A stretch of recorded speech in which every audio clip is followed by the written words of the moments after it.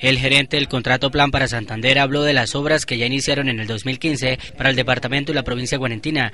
En primer lugar, en tema del aeropuerto Los Pozos de San Gil, son 4 mil millones de pesos que ya estarán en manos de la alcaldía de San Gil para la ejecución de las obras y mejoramiento. Por ejemplo, el tema del, aeropuerto Los Pozos de San Gil, eh, ya se cuenta con los recursos del Departamento Nacional de Planeación, se los trasladó ya a la Aeronáutica Civil.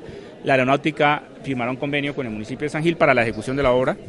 Eh, de manera que en manos de la alcaldía está el proceso licitatorio, por supuesto con el acompañamiento de la Aeronáutica Civil, de Planación Nacional y de la Gobernación de Santander, 4 mil millones de pesos dirigidos al lado tierra y lado aire del aeropuerto de Los Pozos para poner a punto. El señor, el señor alcalde estuvo ya informando hace dos días a la Aeronáutica Civil de que ya tiene al día el tema de seguridad para que nuevamente le asigne la aeronáutica el permiso de operación del aeropuerto, tema que sucederá en los próximos días. Paralelamente nosotros estaremos ya avanzando en los insumos, en los ajustes para que el alcalde pueda contar con todo, toda la documentación necesaria para iniciar el proceso licitatorio. El tema de la vía San Gil Charalá Límites, otro proyecto del contrato plan, ya se encuentra en la fase de levantamiento topográfico, definiendo tres obras iniciales que son. Uno es todo el tema de gestión predial, que es un tema no menor, que implica una gestión, implica una gestión importante por parte del contratista.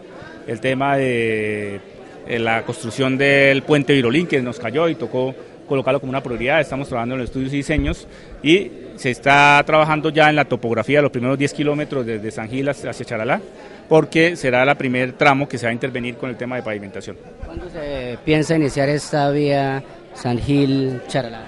No, ya, ya inició, solo que está, se refiere a la pavimentación. A la pavimentación, nosotros eh, digamos que antes de mes de junio ya empiecen a, con, esta, con esta intervención ya de obra de maquinaria.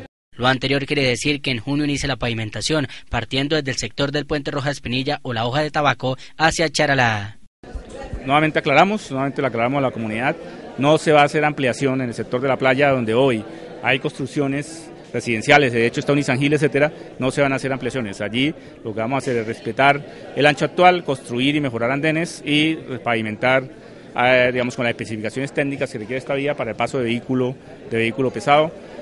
Eh, el tema variante de la variante no está incluida dentro de las vías secundarias, es un tema que se incluirá dentro de la ampliación de la vía Bogotá-Bucaramanga-Cúcuta, que está en estructuración por parte de la Agencia Nacional de Infraestructura y que esperamos nosotros antes de abril 15 tener la estructuración ya completa de esta vía, la cual tiene que ser aprobada para cierre financiero por parte del Ministerio de Hacienda.